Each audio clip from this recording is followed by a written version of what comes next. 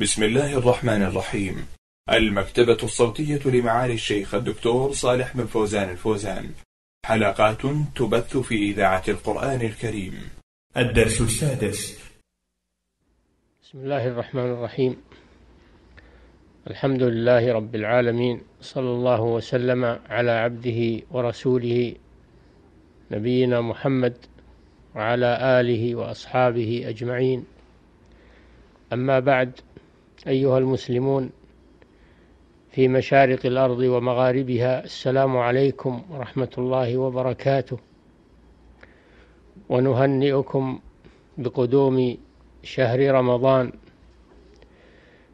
شهر البركات والخيرات والنفحات شهر الصيام والقيام شهر التوبة والاستغفار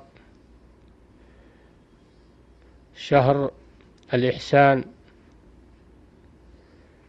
شهر كله خير وكله فضائل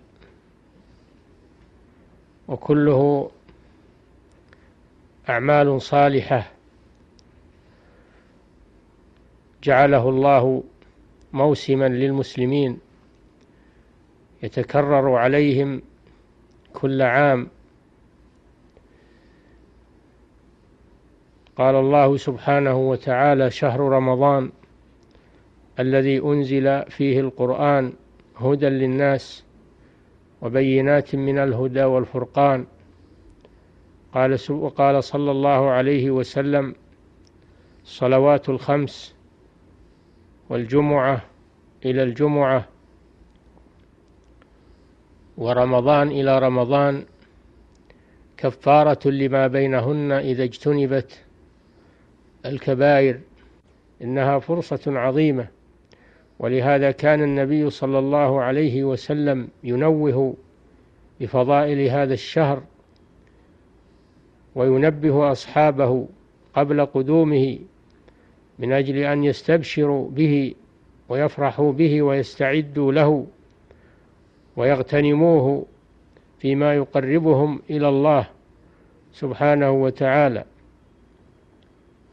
فهو شهر أنزل الله فيه القرآن وهذا يدل على فضله حيث خصه الله بهذه الخاصية دون غيره من الشهور. قال شهر رمضان الذي أنزل فيه القرآن هدى للناس وبينات من الهدى والفرقان. وهو شهر أوجب الله صيامه.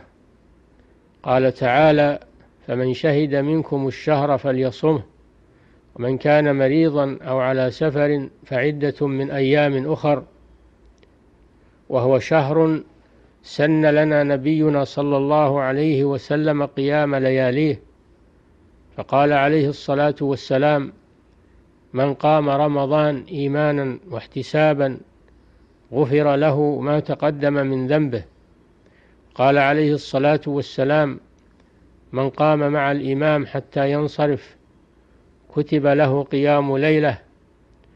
قال عليه الصلاة والسلام من قام ليلة القدر إيمانا واحتسابا غفر له ما تقدم من ذنبه.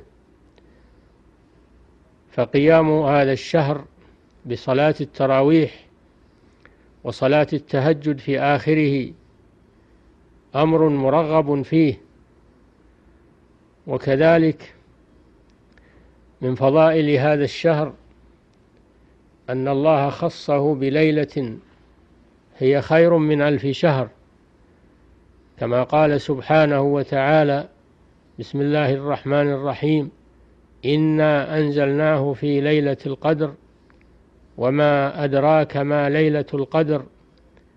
ليلة القدر خير من ألف شهر. تنزل الملائكة والروح فيها بإذن ربهم. من كل أمر سلام هي حتى مطلع الفجر. قال سبحانه وتعالى إنا أنزلناه في ليلة مباركة وهي ليلة القدر. سماها الله ليلة القدر لعظم قدرها. أو لأنها تقدر فيها الأمور التي تجري في السنة كما قال تعالى فيها يفرق كل أمر حكيم. ثم قال ليلة القدر خير من ألف شهر. فمن اجتهد في هذه الليلة بالأعمال الصالحة وتقبله الله فإنه يحصل من الأجر والثواب على خير من على خير ممن عبد الله سبحانه وتعالى في ألف شهر. وهذا فضل عظيم وثواب جزيل. في فيجب علينا جميعا ويتأكد في حقنا أن نستغل أوقات هذا الشهر بالطاعات والقربات. نحيي ليله بالصلاة. ونصوم نهاره ونتقرب إلى الله فيما بين ذلك بذكر الله وتلاوة القرآن والتوبة والاستغفار والجلوس في المساجد والإكثار من ذلك حتى نحفظ صومنا وحتى نعبد ربنا كما كان السلف الصالح يقبلون على العبادة في هذا الشهر أكثر من غيره فكانوا فكان العلماء يتفرغون من طلب العلم وحلق الذكر ويجلسون في المساجد يتلون كتاب الله سبحانه وتعالى وكان النبي صلى الله عليه وسلم يعتكف فيه حتى يتفرغ لعبادة ربه عز وجل وينقطع عن الشواغل. وكذلك مما يجب التنبيه عليه أن يحترم المسلم هذا الشهر وأن يقبل على ربه عز وجل ويترك الغفلة والكسل والخمول فإن بعض الناس يتخذ ليالي هذا الشهر للسهر والضحك والعبث أو للتجوال في الأسواق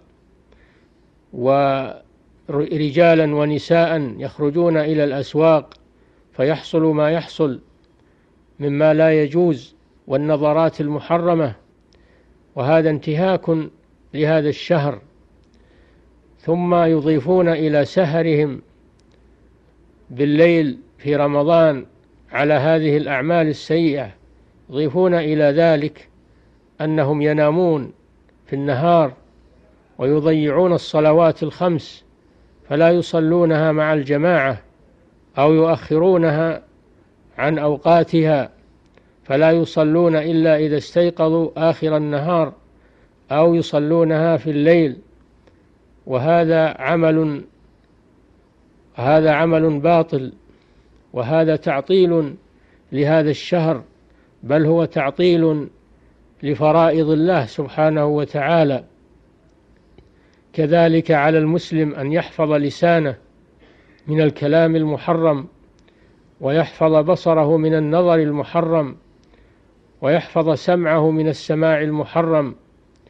فلا يتكلم بالكلام البذيء والكلام الفاحش والسباب والشتم وغير ذلك وكلام الهزل الذي لا فائدة فيه ويحفظ نظره عما حرم الله. فلا ينظر إلى النساء ولا ينظر إلى الصور الماجنة ولا ينظر في الشاشات التي تعرض الصور الخليعة من محطات العالم المتماجن فإن الصيام ليس مجرد ترك الطعام والشراب وإنما الصيام هو ترك كل ما يبطل الصيام أو ينقص ثوابه من الأكل والشرب والجماع وكذلك الأمور المحرمة التي تحرم على الإنسان في كل وقت فإنه يتجنبها في رمضان أكثر من غيره لأنها تؤثر على صيامه وتبطل ثوابه فيكون صومه تعبا بلا فائدة. نسأل الله سبحانه وتعالى أن يوفقنا وإياكم جميعا لاغتنام هذا الشهر وأن يمكننا وإياكم من الأعمال الصالحة فيه وأن يتقبل منا ومنكم وأن يعفو عن تقصيرنا وصلى الله وسلم على نبينا محمد وعلى آله وأصحابه أجمعين.